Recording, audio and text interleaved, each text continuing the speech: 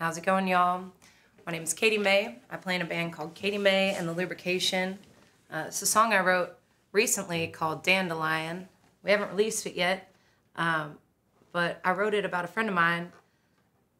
She made me think about what it's like to get stuck in a small town. Um, and I wrote it with her in mind, but then uh, when I spent a month down in Bisbee back in July, played it a bunch and came home and realized that it really resonated with me during that time too. So I'll play it for y'all and let you figure it out for yourselves.